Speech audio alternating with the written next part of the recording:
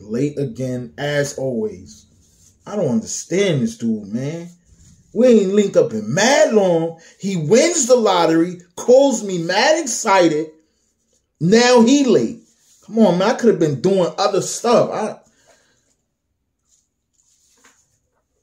Yo. Yo, what's up, man? Where you been at? You told me we was gonna link up three hours ago. Where you was at?